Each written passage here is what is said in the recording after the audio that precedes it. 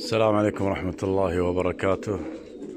اليوم راح نتكلم عن صف الخانات طريقة العوامات وراح نتكلم بشكل عام عن مساحة الخانة حجم الخانة وأمور كثيرة تهم المربي.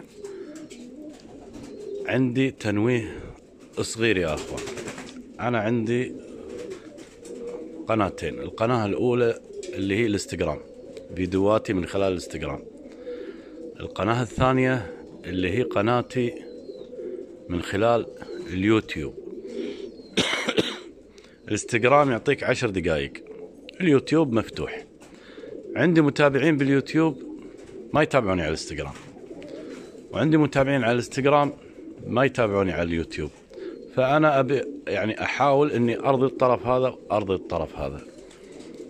فش أسوي مرات؟ مرات يطول الشرح. فالحلقة تنزل كاملة على اليوتيوب لكن على الإنستغرام يعطيك فقط عشر دقائق. فأقوم أنا أجزء الحلقة. أكتب الحلقة مثلا 15 الجزء الأول حلقة 15 الجزء الثاني.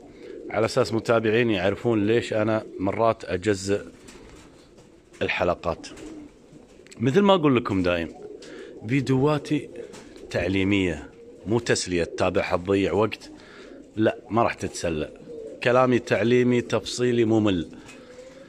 هالفيديوهات هذه للناس اللي تبي تستفيد مثل ما أكرر دائما. طيب كيف أنا أحصل حلقاتك في اليوتيوب؟ يدخلون علي دائما بالواتساب أو الإنستغرام يقول أنا حصلت حلقة واحدة. الحلقات متسلسلة واضحة. تربية الحمام الحلقة الأولى تربية الحمام الحلقة الثانية. حط جرب بالرقم تربية الحمام 33 تمام؟ فالحلقة هذه 34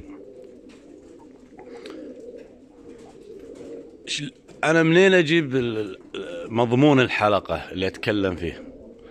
أجيبه من الناس اللي تسألني خاصة الحين لأن أنا وقفت عند 33 بداية من الحلقة هذه راح تكون إيه آه الأسئلة اللي تردني من المتابعين. فأنا أجمع الأمور بمخي والأفكار براسي والله حتى ما أسجل ملاحظات بس أعرفها حفظها وأجمعها وأسويها. لأن إذا تكرر علي السؤال معناته أن الناس فعلا تبي المعلومة هذه. نتوكل على الله. لولا الله ثم تشجيعكم ما قمنا بهالحلقات هذه كلها. طيب أول شغلة المنشأ. تمام؟ دائما يا جماعة الواحد يحس يحسب أصل الفكرة عنده. أصل الفكرة عندك شنو؟ كم زوج تبي؟ تبي مية زوج؟ ألف زوج؟ عشرة آلاف زوج؟ على حسب أصل الفكرة عندك. فأنت كل ما صار العدد أكبر كل ما قدرت تسوي منشأ أكبر. إذا العدد أقل سو منشأ أقل. يعني لا تعمل منشأ أكبر من الطاقة اللي أنت تبيها. إلا إذا كان عندك تفكير مستقبلا هذا موضوع ثاني. طيب يا أخوان أول شيء بنتكلم عن صف الخانات. شلون أنا أصف الخانات بالشكل هذا؟ صف الخانات إذا كنت تضع طابوق حجر مثل هذا تقوم تحط أول وحدة إلى آخر وحدة وتربط حبل وتصف الطابوق مع الحبل مع الحبل. وتربط أول خانة هني أول خانة هذه. تركبها على أول طابوقة. وتربط في الخانة حبل وتسحب الحبل إلى آخر خانة هناك المنطقة الوسطى فاضية. أنت هني صفيت الطابوق وسويت الحبل اللي من أول خانة إلى آخر خانة. بعدها تقوم آسف. اللي بالنص لا خله اللي بالنص بعدين. أول شيء الطابوق إذا صفيته وخلصت تقوم تركب الخانات على الطابوق. كل خانتين طابوقه. وتصف خاناتك. خلصت؟ تربط حبل بأول خانة بعد ما ركبت الخانات الحين أنت. وتربط حبل بآخر خانة. وتسمة الحبل. تقويه. فتشوف الخانات اللي حايشة الحبل ترجعها ورا. اللي حايشة الحبل ترجعها ورا. لما يكون الحبل متساوي مع الخانات كلها. بعدها تقوم تربط الخانات بسيم. بعد ما تصف تربط الخانات بسيم. يا جماعة ترى أنا أتكلم لكم عملي. مو كل الشباب عندهم شركات كبيرة ويدق على شركة ويقول تعال حط لي كونكريت وعمال وصف وميزان. لا أنا أتكلم عملي يعني كلنا إحنا عايشين بهالطريقة هذه يعني. اللي عنده مزرعة اللي عنده جاخور اللي عنده إزبل عنده حياة عملية. ما هو سوالف مهندسين ويجي يصف لك وكذا. هذا بخصوص الطريقة اللي أنا مسويها. كل إنسان وطريقته ما لي علاقة. في ناس يكون عنده القاعدة حديد. من الأول للأخير. حديد. هذا بخصوص الصف بخصوص الظهر من فوق. إذا شفت خانة مرتفعة عن الثانية هذه مثلا تحط لها خشبة زيادة عشان تعدلها هذه كذا. من الضروري جدا من الضروري جدا إذا كنت مركب عوامات تمام؟ من الضروري جدا إن تكون الخانة متساوية لأن العوامات هذه اللي معروفة بالسوق. إذا ما فيه اتزان ممكن الماء يخرج وتستمر في في نزف الماء. شوفوا الآن ما شاء الله الوزنة مضبوطة. بالطريقة هذه تبين وزنة الماء مضبوطة. أنت تبين معك. تمام خلصنا من وزن الخانات. نروح طال عمركم التركيب العوامات. شلون أنا أركب العوامة؟ يا أخوان نبدأ من مصدر الماء. من مصدر الماء الرئيسي لازم يكون عندك مصدر ماء. مستوى الماء لازم يكون أعلى من الخانات بنص متر. ربع متر ما في مشكلة بس لازم يكون أعلى من الخانات. تمام؟ شوفوا شوفوا الملاحظة الحين. هني الهوز شلون مرتفع؟ شوفوا يا أخوان. أول البدايه طبعا هذا البودر مال النمل. لازم تكون شغال 24 ساعة تحط بودر النمل. شوفوا تقريبا 70 أو 80 سنتي.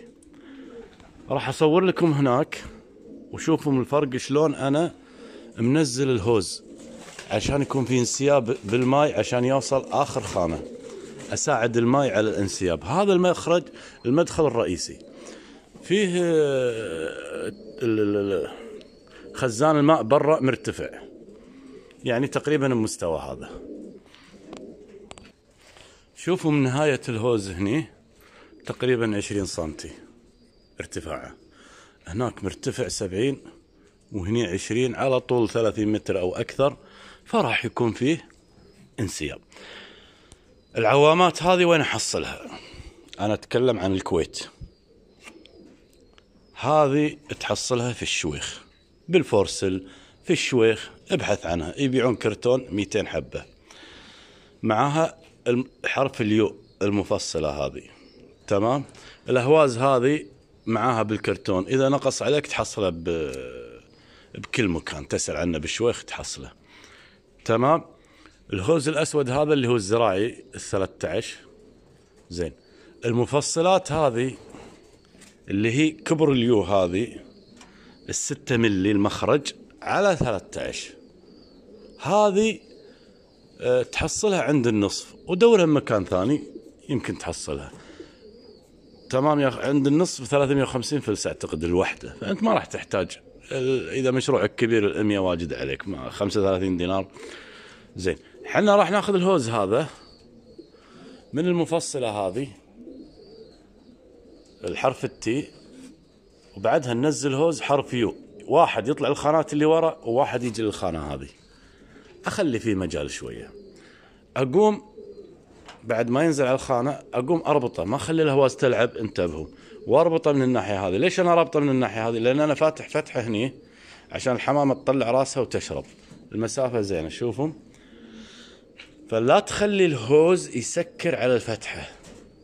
دائما حاول تربط بسيام وتوخر الهوز. وتنزل الثاني تحت شوفوا. حرف U واحد طلع العوامة هذه والثاني نزل تحت الطويل هذا. ورابطه أنا هني بسيم واحد يطلع للعوامة اللي عنده والثاني ينزل للي تحت. وانتهى الموضوع. هذا بخصوص التركيب. العوامة تركب على الحافة مالت الخانة. تمام؟ إذا تفصل خانات أو تبي تفصل خانات عند أحد أو تشتري من أحد وأنت بتحط عوامات لازم فيه الشفة هذه الحافة هذه. تمام؟ تركب العوامة هني. هذا بخصوص العوامات. طريقة تنظيفها موجودة في الحلقات. يا أخوان أنا ما صنفت الحلقات كل حلقة اسم الوحدة لا. أنا أعطيتها أرقام. فأنت مانك خسران. إذا كل حلقة مدتها عشر دقائق عشر دقائق أنا أتكلم مرات دقائق على أساس بعض الأخوة العرب يتابعوني باليوتيوب. ف شنو موضوعي؟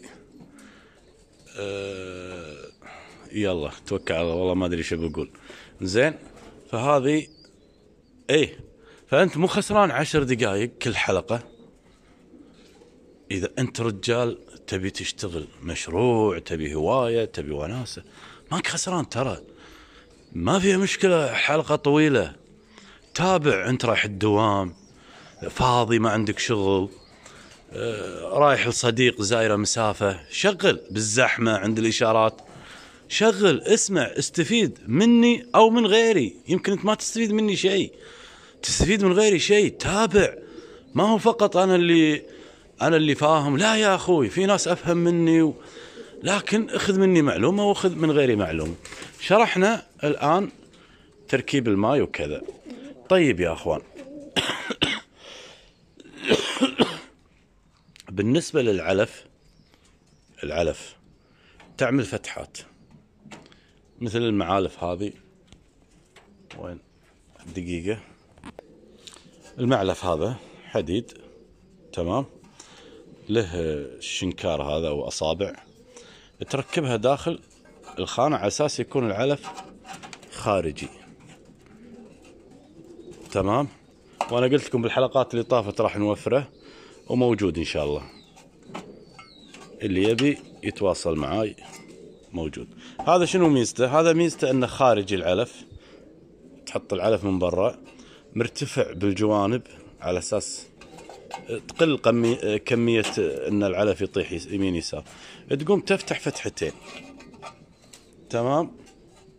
حمامة تدخل راسها من هني وتاكل العلف.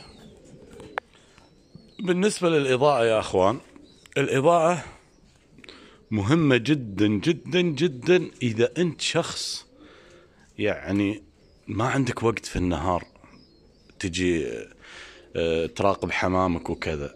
فيفيدك في الليل تستغل وقتك إذا عندك فراغ في الليل. أما إذا أنت ما تدخل على حمامك في الليل ما هو ضروري الكهرباء. تمام؟ اللي ملتزم بوقته وعارف. أما اللي شخص آه، في الليل ياخذ شيء ويبيع في الليل يشتري حمام ويرد يحطه في الخانات وكذا لا حط إضاءة. ضرورية جدا وإضاءة تكون قوية على أساس وقت التسجيل تراقب حمامك لأن تعرفون الليل فيه فراغ كبير. مرات الواحد يفضى ويصير فيه فراغ كبير. طيب يا أخوان هل يحتاج الحمام تدفئة؟ في الشتاء. نعم لازم المنشأ يتسكر جميع التيارات الهوائية الباردة ويكون فيه شفاط. ليش؟ لأن بعض أيام الشتاء آه، يكون في مثل الندى أو الرطوبة داخل الهنجر فلازم عندك شفاطات. ضروري جدا للشتاء وللصيف. في الشتاء إذا صار صقيع والفرخ شوية كبير الأم ما تقدر تحضنه بالكامل. ممكن يصير عندك وفيات. والحمامة الأم. إذا حضنت الفرخ الزغلول وهو حجمه كبير يمتص حرارتها ويأثر على الأم نفسها. في ملاحظة دقيقة يمكن البعض ما يلاحظها. فال- فال- فالأم أو تقوم عن ال- الولد مالها الفرخ مالها ما تقدر تحضنه في الشتاء يأثر عليها فتلقاه يتجمد ويموت إذا كان كبير شوي.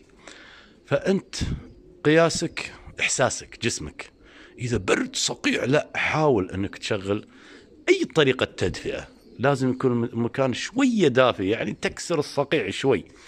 هذا بالنسبة للشتاء. التيارات الهوائية ممنوع. لا يحوش الحمام تيارات هوائية.